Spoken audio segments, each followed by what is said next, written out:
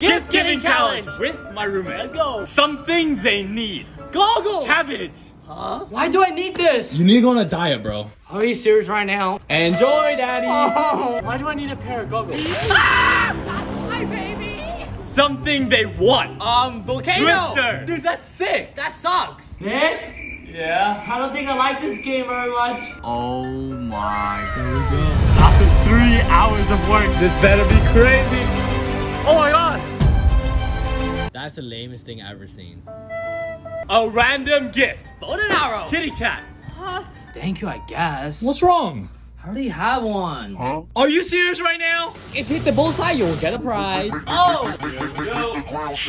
Oh! That counts 100%. Good prizes. Everyone watching will subscribe. Let's go.